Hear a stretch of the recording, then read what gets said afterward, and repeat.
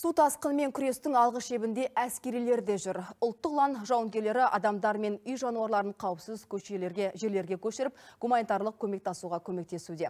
Одан бөлек мал мүліктің тоналуына жол бермеу үшін полицейлермен бірлесіп су басқан мекендерде кезекшілік атқарады. Сарбаздар топан судан қашқан елдің тұрмыстық заттарын құрғақ жерге шығаруға да қол ұшын созып жатыр.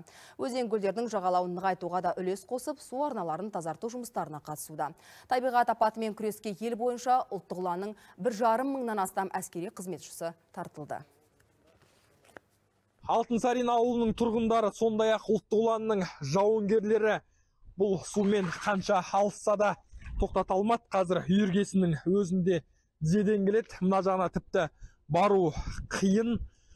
Біз бұл жерге түсірім жүргізгелі бір жарты сағаттың көлемі болды. Минут санап судың мөлшері көбейіп барады.